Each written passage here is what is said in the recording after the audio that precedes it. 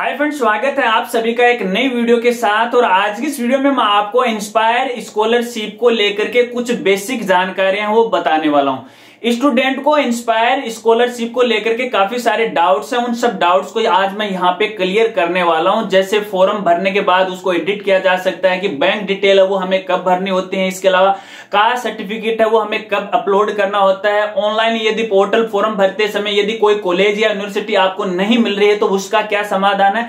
इसके अलावा form finally submit होने के बाद आगे हमें क्या करना पड़ता है? आगे की प्रोसेस क्या होती है? पैसा वो हमारे अकाउंट में किस प्रकार आता है? इसी प्रकार के कुछ डाउट्स हैं तो उन सभी डाउट्स को मैं यहाँ क्लियर करने वाला हूँ। अगर आपका भी इस प्रकार का कोई डाउट्स है इंस्पायर स्कॉलरशिप को लेकर के तो भैया इस वीडियो के लास्ट तक आप बने रहे। तो चलिए वीडियो को शुरू करते हैं। दोस्तों, सबसे पहले आपको जानकारी देना चाहूँगा। देखिए इंस्पायर स्कॉलरशिप को लेकर के मैंने काफ़ी वीडियो बनाई हैं, लेकिन फिर भी काफ़ी सारे जो स्टूडेंट हैं, उनको इंस्पायर स्कॉलरशिप के काफ़ी सारे डाउट्स हैं। अगर आपने पहले वाली वीडियो नहीं देखी है तो वो एक एक आप वीडियो देखिए चैनल पे विज़िट करके लगभग आपके सारे डाउट्स हैं, वो वहाँ पे क्लियर हो जाएँगे। तो यहाँ पे कुछ बेसिकली डाउट्स हैं, जो लगभग सभी स्टूडेंट मुझे बार बार कमेंट करके पूछा करते हैं तो उन सभी डाउट्स को मैं यहाँ पे क्लियर करने वाला हूँ। और साथ में एक जानकारी आपको दूँगा, देखिए, आगे की जो प्रोसेस है, मैं आपको पीसी की स्क्रीन पर ले जाकर दिखाऊँगा कि किस प्रकार से फाइनली जब फॉर्म सबमिट हो जाता है और आगे की प्रोसेस क्या होती है, किस तरह से फॉर्म अप्रूव होता है और विभाग की तरह किस तरह से हमारे पास नोटिफिकेशन होता है, ये तो मैं आपको पीसी की स्क्रीन पर ले जाकर बताऊँगा, लेकिन इससे पहले कुछ बेसिक डाउट्स हैं। इंस्पायर स्कॉलरशिप को लेकर के वो मैं यहाँ पे दूर करता हूँ। देखिए, मैंने यहाँ पे कुछ डाउट्स यहाँ पे लिख रखे हैं, जो शायद आपके भी हो सकते हैं। अगर नहीं है तो जानकारी आप ले लीजिएगा। देखिए, सबसे बड़ा डाउट्स आता है सभी स्टूडेंट को इंस्पायर स्कॉलरशिप को। सबसे पहला आता है कि एडवाइजरी जो नोट होता है, यानी इंस्पायर स्कॉलरशिप का जो सर्टिफिकेट होता है, वो कहाँ से मिलता है?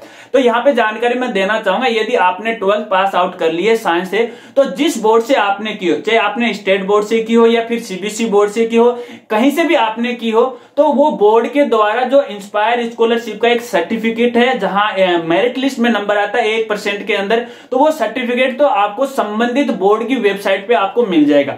अगर बोर्ड की वेबसाइट पर आपको नहीं मिल रहा है तो आप संबंधित बोर्ड की जो हेल्पलाइन होती है, वहाँ से आप फ़ोन कीजिएगा तो उसके बारे में आपको यहाँ पे जानकारी वो दे देगी और यहाँ पे एक जानकारी ये देना चाहूँगा। देखिए अलग अलग जो बोर्ड होते हैं अलग अलग जो स्टेट है, जैसे आरबीसी बोर्ड अजमेर है यूपी बोर्ड है एमपी बोर्ड है, झारखंड बोर्ड है या फिर सीबीसी है, कोई भी बोर्ड हो तो सबकी जो मेरिट होती है वो अलग अलग होती है। यहाँ पर सबकी समान नहीं होती। है ये जो मेरिट होती है स्टेट बोर्ड निकालता है ऑल इंडिया पर एक ये नहीं होती है। तो जो इंस्पायर स्कॉलरशिप का जो सर्टिफिकेट है, आपको अपने संबंधित बोर्ड की वेबसाइट पे विज़िट करके ही डाउनलोड है, वो करना पड़ेगा। ठीक है, चलिए। दूसरा जो बेसिक जो डाउट होता है स्टूडेंट्स के सामने ये है कि अगर हमने फॉर्म भर दिया और हमसे कोई गलती रह गई तो क्या उसको एडिट किया जा सकता है? नहीं दोस्तों। अगर एक बार आपने फाइनली फॉर्म सबमिट कर दिया तो उसके बाद यदि कोई डॉक्यूमेंट अपलोड करना आप भूल गए, कोई आप डिटेल गलत आपने भर दी तो उसमें आप एडिट नहीं कर सकते। यदि आपके फॉर्म में कोई गलती रह जाती है तो डिपार्टमेंट के द्वारा आपको मौका दिया जाएगा, ऐसा नहीं है, जो कमी है, वो निकाली जाएगी, फिर आपको मौका दिया जाएगा कि भैया आपने ये डॉक्यूमेंट है, वो अपलोड नहीं किया, आप दोबारा अपलोड कीजिएगा। तो उसके लिए आपको थोड़ा सा वेट करना पड़ेगा और इसके लिए आपको बार बार जो भी आपने इंस्पायर स्कॉलरशिप, जब आपने ऑनलाइन फॉर्म सबमिट करने के लिए जो रजिस्ट्रेशन किया था तो आपके पास वो रजिस्ट्रेशन आईडी होनी चाहिए और आपकी जो मेल आईडी है, जिसमें आपने रजिस्ट्रेशन किया था, उस मेल आईडी पे आपको नोटिफिकेशन वो आते रहेंगे। तो संबंधित अपनी मेल आईडी और लॉगिन आईडी के द्वारा आप समय समय पे चेक करते रहिएगा कि आपका फॉर्म अप्रूव है या फिर कोई कमी निकाली गई है तो वो पूरी जानकारी दे देंगे अगर अप्रूव और डिसअप्रूव है, इसके बारे में आगे मैं आपको बताऊँगा बने रही वीडियो के साथ। चलिए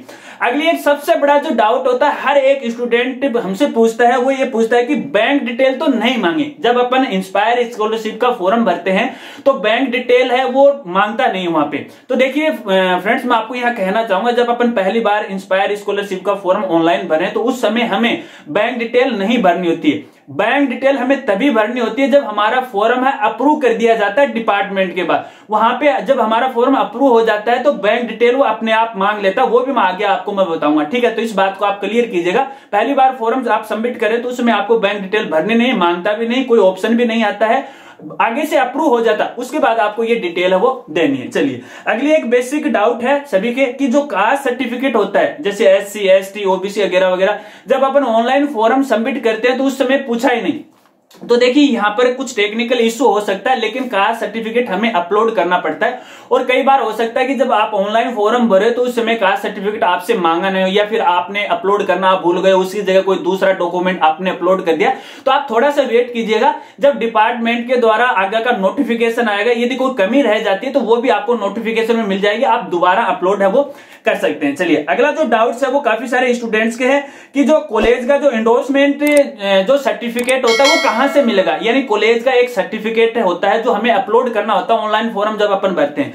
तो देखिए दोस्तों, जहाँ पे आपने जिस कॉलेज में एडमिशन लिया, वहाँ पर आपको नॉर्मली अपनी ये कहें तो एक स्टेटिंग सर्टिफिकेट होता है, अध्ययनरत प्रमाण पत्र होता है, वो कॉलेज वाले ही देंगे। अगर वो प्रमाण पत्र आपको नहीं मिल रहा है तो आगे वीडियो में मैं आपको बताऊँगा कहाँ से आपको डाउनलोड करना है। तो संबंधित जहाँ आपने कॉलेज में एडमिशन लिया है, वहाँ से उसको अटेस्टेड करवाना है। कौन कौन से आपने सब्जेक्ट लिए उन सब्जेक्ट को आपको वेरीफाई करवा के फिर आपको यहाँ पे अपलोड करना चलिए, अगला एक बेसिक सा डाउट है सबके लिए। कॉलेज कौन सी होनी चाहिए प्राइवेट या फिर गवर्नमेंट तो देखिए दोस्तों, ये मर्ज़ी आपकी है, आप प्राइवेट में भी एडमिशन ले सकते हो, आप गवर्नमेंट में एडमिशन ले सकते हो। लेकिन यहाँ पे शर्त ये है, अगर आप प्राइवेट जो कॉलेज है, उसमें आप एडमिशन लेने जा रहे हो तो पहले आप ये देख लीजिएगा कि वो वेरीफाइड है, मान्यता प्राप्त है या नहीं है। अगर वो मान्यता प्राप्त है, फिर आपको कोई दिक्कत नहीं आने वाली तो कॉलेज कोई भी आप ले सकते हो, आपकी इच्छा है। चलिए, अगला बेसिक जो डाउट ये आ रहा है कि कॉलेज का नाम है, जब अपन ऑनलाइन फॉर्म भरते हैं तो हमें शो नहीं हो रहा या तो हमारी यूनिवर्सिटी वो शो नहीं हो रही है, या फिर हमारी जो कॉलेज है, वो शो नहीं हो रही तो देखिए दोस्तों, यहाँ पे इसके दो कारण हो सकते हैं। पहला कारण ये है, या तो आपने गलत यूनिवर्सिटी है, वो सिलेक्ट की है, ठीक है? क्योंकि आपको पता है कि ऑल इंडिया में हर स्टेट में काफ़ी सारी जो यूनिवर्सिटी होती हैं और हर एक यूनिवर्सिटी के नीचे अलग अलग कॉलेज होती हैं। तो सबसे पहले तो आपको अपनी सही यूनिवर्सिटी को है वो सिलेक्ट करना है, उसके बाद अपनी कॉलेज को आपको सिलेक्ट करना अगर वहाँ पर भी आपको नहीं मिलता तो वहाँ पर जब अपन ऑनलाइन फॉर्म भरते हैं तो एक ऑल यूनिवर्सिटी का ऑप्शन आता है तो उसके अंदर ऑल इंडिया की सारी यूनिवर्सिटी आ जाती है और सारी कॉलेज है वो आ जाती है, मिल जाएगा। अगर उसके बाद भी नहीं मिल रहा है तो दोस्तों आपको ध्यान रखना है, या तो आपकी जो कॉलेज है, वो इंस्पायर स्कॉलरशिप के पोर्टल पर रजिस्टर्ड नहीं है। अगर वो रजिस्टर्ड नहीं है तो भैया आप अपने संबंधित कॉलेज वालों से आपको संपर्क करना और उनको जाके ये बोलना कि आप अपनी कॉलेज को इंस्पायर स्कॉलरशिप के पोर्टल पर रजिस्टर्ड कराओ। इसके लिए भी जो डिपार्टमेंट है, कॉलेज के लिए अलग जो एडवर्टाइजरी है, वो उन्होंने जारी कर रखी है, अलग दिशा निर्देश है उनके लिए। तो अगर कॉलेज इंस्पायर स्कॉलरशिप के पोर्टल पर रजिस्टर है तो वो शो हो जाएगी। अगर रजिस्टर्ड नहीं है तो वो शो नहीं होगी। अगर शो नहीं हो रही है तो संबंधित आप कॉलेज से संपर्क करें और उनको बताएँ कि कॉलेज है वो आप रजिस्टर्ड है, वो करवा ले। चलिए, अगली एक बेसिक सी जो प्रॉब्लम आ रही है साथियों को, कि फॉर्म फाइनली सबमिट करने के बाद जो हार्ड कॉपी होती है, वो हमें कहाँ भेजनी होती है? तो दोस्तों, यहाँ पे देखिए, आपको जानकारी देना चाहूँगा, जब आपने ऑनलाइन फॉर्म भर दिया फाइनली आपने सबमिट कर दिया तो ये जो फाइनली फॉर्म सबमिट करने के बाद इसकी जो हार्ड कॉपी है, वो आपको कहीं नहीं भेजनी ना तो आपको कॉलेज में जमा करवानी है, और ना ही आपको डिपार्टमेंट में वो भेजनी ये हार्ड कॉपी केवल आपके पास सुरक्षित ही रखनी है, क्योंकि इसकी आवश्यकता आपको आगे पढ़ने वाली है। तो ऐसे में आपको ना तो बाई पोस्ट भेजना है, ना ही आपको ऑनलाइन भेजना कहीं पर भी नहीं भेजना केवल आपके पास आपको सुरक्षित है वो रखनी है। चलिए, इसके बाद एक जो बेसिक डाउट होता है वो एक बोर है यह है कि फॉर्म भरने के बाद क्या होता है? हाँ ये एक सबसे बड़ी बात है दोस्तों कि हमने सारे डॉक्यूमेंट भी अपलोड कर दिए सही तरीके से, और फाइनली फॉर्म भी हमने सबमिट कर दिया। फिर आगे हमें क्या करना पड़ता? तो देखिए भैया, आगे तो बहुत सारी ऐसी बातें हैं जो आपको आगे करनी होगी, लेकिन सबसे पहला काम होता है कि जब आपने फाइनली फॉर्म सबमिट कर दिया तो सबसे पहले जो डिपार्टमेंट है आपके फॉर्म को चेक करेगा। ठीक है? यदि वो उसमें जानकारी सही है और आप उस क्राइटेरिया के अंदर आते हो तो भैया पहले आपका जो फॉर्म है वो डिपार्टमेंट के द्वारा अप्रूव कर दिया जाएगा। और जैसे ही वो अप्रूव हो जाएगा तो भैया इंस्पायर स्कॉलरशिप के अंदर आपका नॉमिनेशन हो जाता है। और कहने का मतलब आपकी स्कॉलरशिप आने के चांस है। वो लगभग नाइनटी परसेंट है, वो बन जाते हैं। फॉर्म भरने से ही आपकी इंस्पायर स्कॉलरशिप है, वो नहीं मिलती है। इसको आपको ध्यान में रखना है। पहले डिपार्टमेंट आपके फॉर्म को वेरीफाई करेगा। ठीक है? यानी अप्रूव करेगा। अगर वो अप्रूव नहीं करता डिसअप्रूव करता तो फिर तो भैया मतलब मामला खत्म है। अगर आपके डॉक्यूमेंट में कोई कमी रह जाती है, जब आप ऑनलाइन फॉर्म भरते हो और कोई कमी रह जाती है तो भैया उसके लिए आपको नोटिफिकेशन दे देगा कि भैया आपके फॉर्म में ये कमियाँ हैं, इनको आप सही करके आप दोबारा फॉर्म वो अपलोड कीजिएगा। चलिए, अब मैं आपको पीसी की स्क्रीन पर ले जाकर दिखाता हूँ। एक आईडी है किसी स्टूडेंट की, उसको यूज़ करके मैं आपको दिखाता हूँ कि किस तरह से जब आप फाइनली फॉर्म सबमिट कर देते हो और डिपार्टमेंट के द्वारा अप्रूव हो जाता है। फिर आगे की प्रोसेस आपको क्या करनी पड़ती है? एक एक जानकारी बताऊँगा। तो चलिए पीसी की स्क्रीन पर लेकर मैं आपको यहाँ पे चलता हूँ। लो फ्रेंड्स अपन आ गए हैं पीसी की स्क्रीन पर। यहाँ पर मैं आपको इंस्पायर स्कॉलरशिप की आगे की जानकारी हो बताता हूँ, लेकिन एक बात पहले ही क्लियर कर देना चाहता हूँ। देखिए, यहाँ पर मैं आपको जब अपन इंस्पायर स्कॉलरशिप का फाइनली फॉर्म सबमिट कर देते हैं, और सबमिट करने के बाद आगे की क्या प्रोसेस है, उस प्रोसेस के बारे में बता रहा हूँ। यहाँ फॉर्म कैसे अप्लाई किया जाता है, उसके बारे में नहीं बता रहा हूँ। अगर आपको फॉर्म अप्लाई करना है तो इसके लिए चैनल पर आप दूसरा वीडियो वो दे सकते हैं। अगर दोस्तों, आपने फाइनली फॉर्म सबमिट कर दिया और आगे की प्रोसेस आपको जाननी है तो सबसे पहले आपको इंस्पायर स्कॉलरशिप की वेबसाइट पे विज़िट करना है। और विज़िट करने के बाद यहाँ से आपको अपनी आईडी से लॉगिन कर लेना है, जिस आईडी से आपने रजिस्ट्रेशन किया था। और जब आप लॉगिन करोगे तो इस तरह का इंटरफेस आपको यहाँ पे दिखाई देगा। और यहाँ पर देखिए, आपको चार ऑप्शन मिल जाएँगे। इंटरशिप का है स्कॉलरशिप का है फॉलोशिप का और फैकल्टी का। हम तो स्कॉलरशिप के बारे में बात कर रहे हैं तो इसी के बारे में मैं आपको जानकारी बताऊँगा। और यहीं पर देखिए, आपको तीन और ऑप्शन मिल जाते हैं। नोटिफिकेशन का ऑप्शन मिल जाता है क्वेरी का मिल जाता है और अनाउंसमेंट का आपको मिल जाता है। अब इस नोटिफिकेशन बार के अंदर यदि आपका फॉर्म अप्रूव हो जाता है डिसअप्रूव हो जाता है या रिजेक्ट हो जाता है तो यहाँ पर उसकी जानकारी आपको मिल जाती है। इसके अलावा देखिए क्वेरी के अंदर यदि आपके फॉर्म में कोई कमी निकाली गई है और डिपार्टमेंट के द्वारा कोई नोट आपके फॉर्म पे डाला गया है, कोई क्वेरी दी गई तो वो जानकारी आपको यहाँ मिल जाती है। और अनाउंसमेंट के अंदर यदि स्कॉलरशिप को लेकर के कोई नए नए अपडेट विभाग के द्वारा किए गए हैं, कोई अनाउंसमेंट किया गया तो वो जानकारी आपको यहाँ पे मिल जाती है। ठीक है, चलिए। अब बात करते हैं, जब अपन फाइनली फॉर्म सबमिट करते हैं तो उसका स्टेटस कैसे पता लगाते हैं और आगे की प्रोसेस कैसे करते हैं? तो आपको यहाँ पे देखिए स्कॉलरशिप वाले ऑप्शन पे क्लिक करना है। और जब आप स्कॉलरशिप वाले ऑप्शन पे क्लिक करोगे तो इस तरह का इंटरफेस आपको यहाँ पे दिखाई देगा। और यहाँ पे देखिए आपको पहले दो तीन ऑप्शन मिलेंगे। एक तो प्रिंट एप्लीकेशन फॉर्म का यहाँ से आप अपना जो फॉर्म है, वो प्रिंट कर सकते हैं डाउनलोड कर सकते हैं। और व्यू एप्लीकेशन स्टेटस यानी अगर आप अपने एप्लीकेशन का स्टेटस देखना चाहते हो, जब आप इस पर क्लिक करोगे तो यहाँ आप अपने एप्लीकेशन के नंबर और अपनी जन्म तिथि जब आप डालोगे तो स्टेटस का आप पता लगा सकते हो कि आपका फॉर्म का स्टेटस क्या है डिपार्टमेंट ने इसको रिजेक्ट किया है अप्रूव किया है या फिर पेंडिंग में पड़ा, वो जानकारी आप यहाँ से वो ले सकते हो। अब देखिए दोस्तों, जब आपने पहली बार फ़र्स्ट ईयर के अंदर, यानी बीएससी फ़र्स्ट ईयर के लिए पहली बार जब आप अप्लाई कर रहे हो, और जब तक आपका फॉर्म डिपार्टमेंट के द्वारा अप्रूव नहीं हो जाता है, तब तक आपको ये दो तीन ऑप्शन ही आपको यहाँ देखने को मिलेंगे। इसके अलावा आपको कुछ भी नहीं देखने का मिलेगा। अगर डिपार्टमेंट के द्वारा आपका फॉर्म ओपन कर लिया जाता है, आपका फॉर्म अप्रूव कर दिया जाता है या रिजेक्ट कर दिया जाता है या डिसअप्रूव किया जाता है तो यहाँ पर काफ़ी सारे ऑप्शन और आ जाते हैं, लेकिन यहाँ पर आपको फ़िलहाल नहीं दिखाई दे रहे क्योंकि हमने इस आईडी के द्वारा एक नया जो फॉर्म है, वो अप्लाई किया है, जो डिपार्टमेंट के द्वारा फ़िलहाल अप्रूव नहीं किया और डिपार्टमेंट के द्वारा देखा नहीं गया। अब मान लीजिए आपने फॉर्म अप्लाई कर दिया सबमिट कर दिया, और उसके बाद यदि डिपार्टमेंट आपका फॉर्म चेक करता है, और आगे की वो क्या क्वेरी देता है, वो मैं आपको बताता हूँ। यहाँ पर देखिए, मैंने किसी दूसरे स्टूडेंट का एक फॉर्म है, वो ओपन कर रखा आप यहाँ पे देख सकते हो, ठीक है? दूसरे स्टूडेंट का फॉर्म मैंने ओपन कर रखा है, जो पिछले साल का है, और डिपार्टमेंट के द्वारा अप्रूव है, वो कर दिया गया ठीक है? अब देखिए, अगर मैं नोटिफिकेशन की बात कर रहा तो यहाँ पे देखिए नोटिफिकेशन में आपको इस तरह से नोटिफिकेशन मिल जाता है। यहाँ पर देखिए फॉर्म अप्रूव होने का, और ऑफ़र लेटर के बारे में कहा गया और ये नोटिफिकेशन यहाँ से वो ऑफ़र लेटर है डाउनलोड है, वो कर सकते हैं यदि आपका फॉर्म अप्रूव हो जाता है। अगर रिजेक्ट होता है तो भी जानकारी आपको यहाँ पे मिल जाती है। चलिए आगे की प्रोसेस बताता हूँ। यहाँ पे मैं डायरेक्टली स्कॉलरशिप वाले ऑप्शन पे क्लिक करता हूँ। जब अपन इस पे क्लिक करेंगे तो देखिए फ्रेंड्स आपको सबसे पहले यहाँ पे इस तरह का इंटरफेस है दिखाई देगा।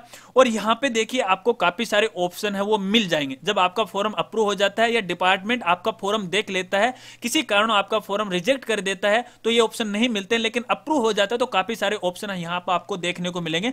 लेकिन अपन नई वाली आईडी में देखें तो देखिए आप यहाँ पे देखिए, कोई ऑप्शन आपको नहीं मिल रहे केवल दो तीन ऑप्शन के अलावा। लेकिन डिपार्टमेंट के द्वारा जब अप्रूव कर दिया जाता है तो भैया देखिए, इस तरह से आपके ऑप्शन है, वो मिल जाते हैं।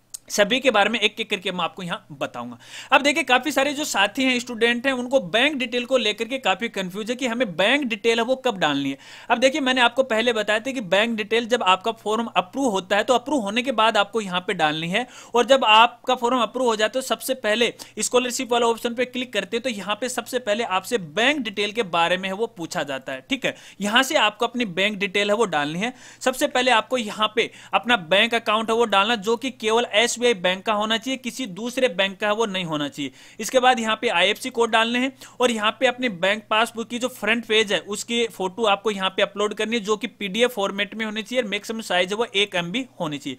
यहाँ पर आपका आधार कार्ड है, वो आपको यहाँ पे डालना है। अगर पहले डाल दिया तो ठीक है, अगर नहीं डाला तो आपको यहाँ डालना है। और यहाँ पे आपके आधार कार्ड की जो फ़ोटो है, वो आपको अपलोड करनी है। ये कंपलसरी है मैंडोटरी है, ठीक है? इसके बाद आपको यहाँ पे फाइनली सबमिट करना है तो आपकी बैंक के डिटेल यहाँ पे सेव हो जाएँगे। हालाँकि हालाँकि मैं यहाँ पे सेव नहीं कर रहा हूँ किसी दूसरे स्टूडेंट की आईडी है तो मैं यहाँ पे सेव नहीं कर रहा हूँ, ठीक है? और यहाँ पे देखिए, एक खास और जानकारी आपको बताऊँगा दोस्तों, आपके बैंक अकाउंट के साथ आपका आधार कार्ड, वो लिंक होना चाहिए और आधार कार्ड के साथ आपका मोबाइल नंबर लिंक होना चाहिए, तभी आपकी जो स्कॉलरशिप है, आपके बैंक अकाउंट में वो आएगी वरना नहीं आएगी। और यहाँ पे देखिए, बिल्कुल साफ़ साफ़ नोटिफिकेशन में कहा गया है कि it is mandatory to link your bank detail with your Aadhaar number to ensure the timely payment of your Inspire scholarships यानी यदि आप अपने इंस्पायर स्कॉलरशिप का टाइमली से पेमेंट चाहते हैं तो भैया, आप अपने बैंक अकाउंट के साथ है, वो आधार कार्ड वो लिंक है, वो कर लीजिएगा। ठीक है?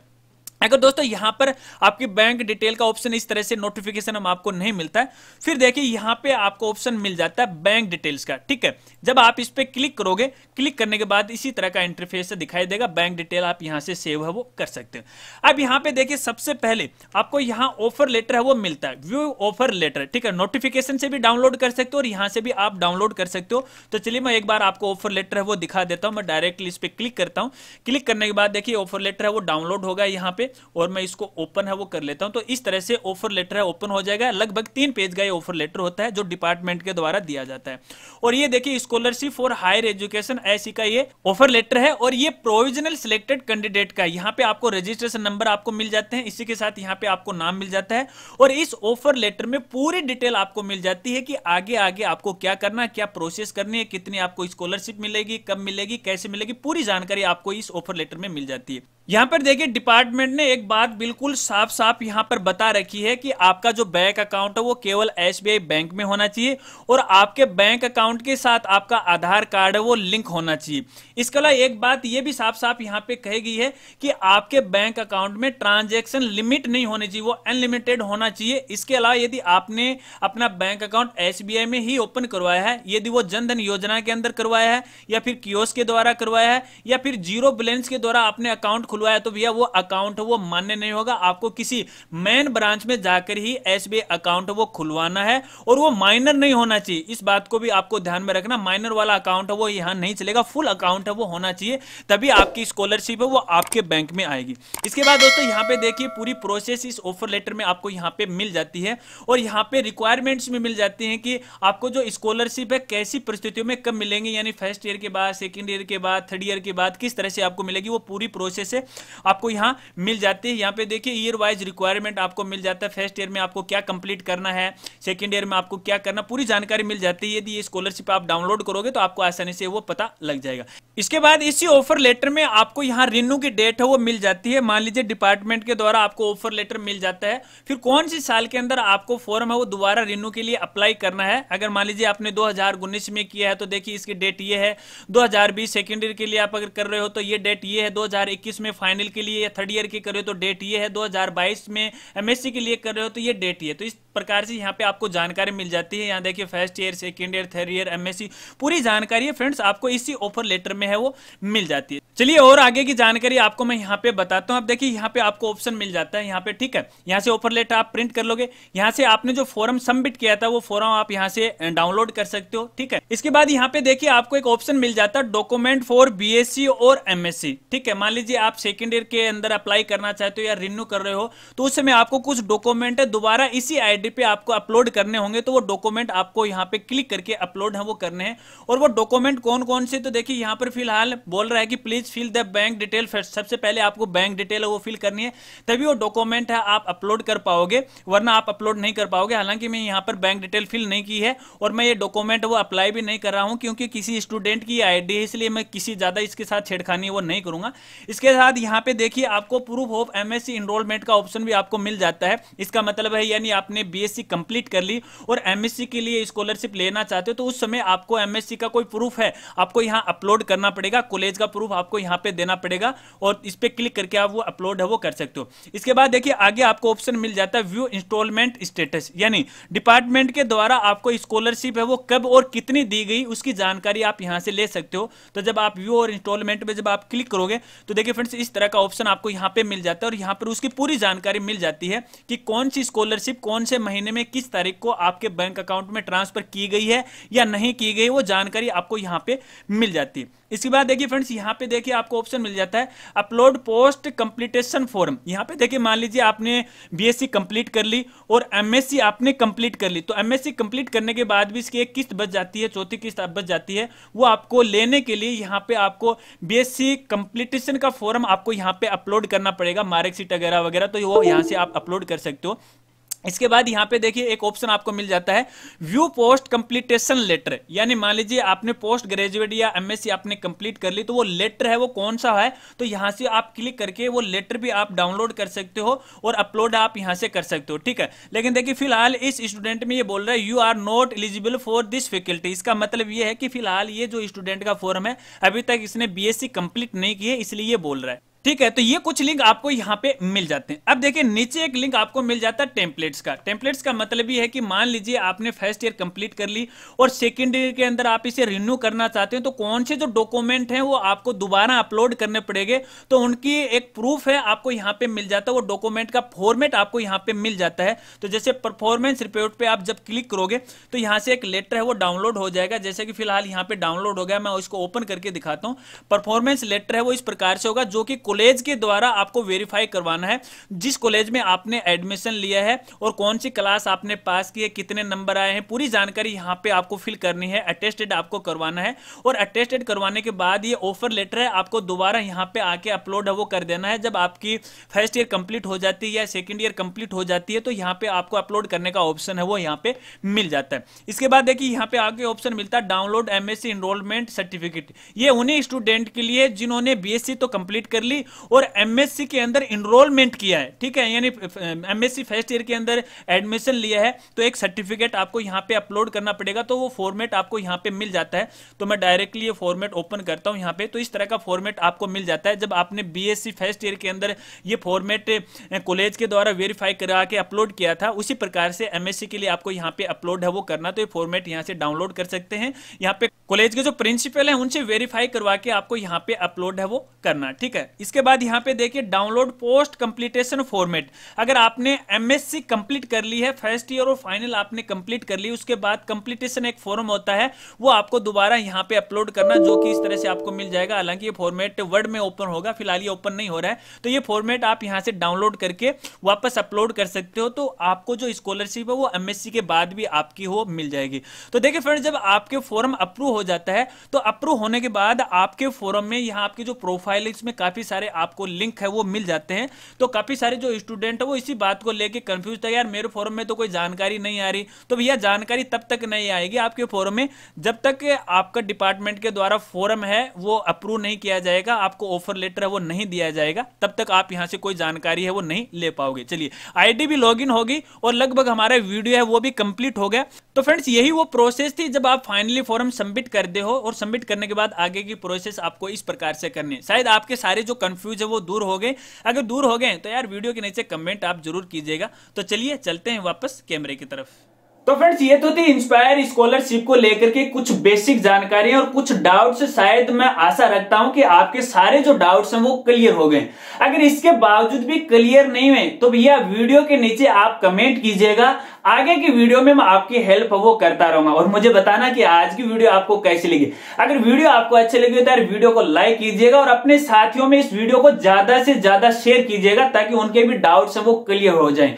और दोस्तों चैनल पर पहली बार आए हो और वीडियो को भी पहली बार देख रहे हो और चैनल को अभी तक सब्सक्राइब नहीं किया तो यार चैनल को सब्सक्राइब कर लीजिएगा। सब्सक्राइब करने के बाद बेल आइकन दबाने के बाद ऑल नोटिफिकेशन उसे ज़रूर इनेबल कीजिएगा ताकि जब भी मैं इस प्रकार की कोई वीडियो डालू, उसकी एक सूचना, एक जानकारी है, वो आप तक है, वो पहुँच जाए। मिलते हैं फ्रेंड्स अगली एक नई वीडियो के साथ। तब तक के लिए जय हिंद, जय भारत।